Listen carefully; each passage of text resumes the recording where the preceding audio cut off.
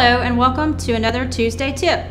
I'm DeAnna Baker, Lead Voucher Specialist at Navigate Affordable Housing Partners. Today, we're going to be talking about your contract rent effective date and your utility allowance effective date. When you have a rent schedule with two different effective dates, you want to ensure that you use the proper date when applying your rents.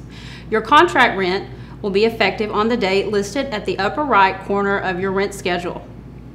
If the utility allowance date differs from the contract rent, you want to ensure that you enter your utility allowances on that effective date.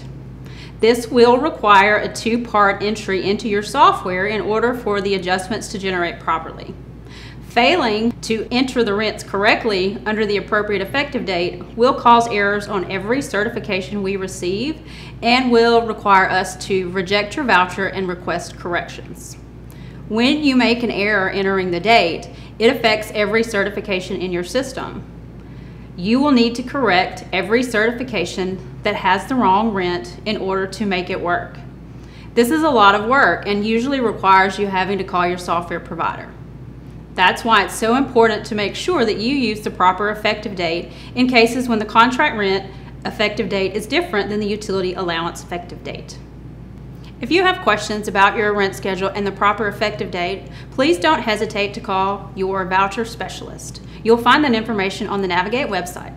Thanks so much and have a great day.